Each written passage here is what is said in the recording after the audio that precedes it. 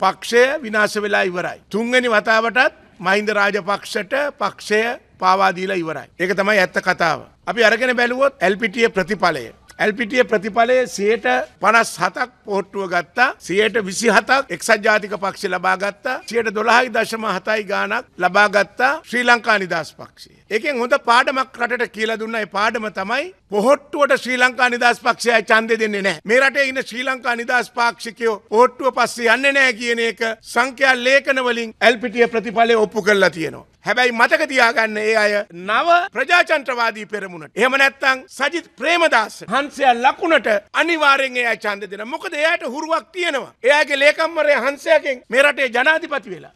පොහොට්ටුව දිනුවොත් ශ්‍රී ලංකා නිදස් පක්ෂ සුන්නත් දූවිලි වෙලා යනවා. විනාස වෙනවා. ද වක්කඩේ හකුරු හංගල තියෙන්නේ. එනිසා අපට තියෙන්නේ ශ්‍රී ලංකා නිදස් පාක්ෂිකයෝ රකින එක. ඒ සඳහා විජය මුනිසොයිසා පෙරමුණ ගන්නවා නායකත්වය දෙනවා එය ආරක්ෂා කරනවා. මට ගෝල්වෙස් පිට්ටනියේ මට අච්චර ලක්ෂ සංඛ්‍යා ජනකායක් ඉන්නපු තැන මමයි රංජිතුයි මරාගත්ත මෙතුම කතා කරේ නෑ. මට කතාවත්වන මට හූ කිව්වද? ඔල්වර සංගණ්ඩ අත් පොලසන්නාදය මේක තමයි ප්‍රේන්ත්‍රවාදී පෙරමුණේ ආදර්ශය. එක්සත් ජාතික පක්ෂ විනේ එක නිසා මේවා තේරුම් ගන්න මේ මට අවසාන වශයෙන් කියන්නේ ඇස් ඇත්තෝ බලත්වා කං ඇත්තෝ අසත්වා.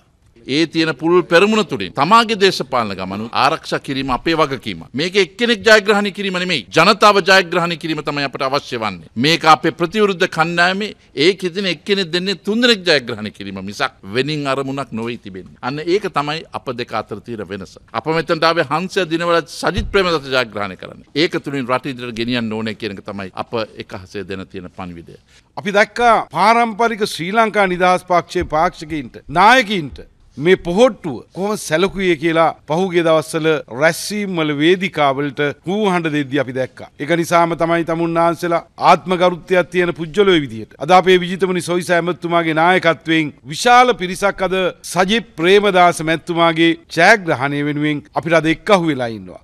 ශ්‍රී ලංකා නිදහස් පක්ෂ පළාත් පාලන නියෝජිතයන්ද මෙහිදී අදහස් පළ කළා. එක්සත් ජාතික පක්ෂයත් එක්ක එහෙම නැත්නම් එක්සත් ජාතික පෙරමුණත් එක්ක අපි මේ කටයුත්ත කරන්නේ. ශ්‍රී ලංකා නිදහස් පක්ෂය ආරක්ෂා කරගැනීමේ වැඩපිළිවෙල වගේම ශ්‍රී ලංකා නිදහස් පක්ෂයේ ඉන්න ඒ කෑගොල් දිස්ත්‍රික්කයේ යම් ප්‍රමාණයක් ඉන්නවා නම් ඒ ප්‍රමාණය අද එක්සත් ජාතික පෙරමුණ සජිත් ප්‍රේමදාස මැතිතුමා ජයග්‍රහණය කිරීමේ වැඩපිළිවෙල සඳහා එතුමාට ඒ ඡන්දය ලබා දෙනවා කියන කාරණයක් මේ වෙලාවේදී මතක් කරනවා. ගමේ ශ්‍රී ලංකා නිදහස් පාක්ෂිකයා එදා ඉඳලා හිටපු ශ්‍රී ලංකා නිදහස් පාක්ෂිකයා මේ වෙලාවේ බොහොම තද තීන්දුවක් තීරණයක් ගන්නවා. මොකද ඔවුන් පක්ෂයට ආදරේ. ඔවුන්ට පක්ෂය රැක ගන්න ඕනේ. එහෙමනම් අපිත් අපේ පාක්ෂික රැක ගන්න මේ තීන්දුව තීරණය ගන්න වෙනවා. වෙන අපිට විකල්පයක් නැහැ.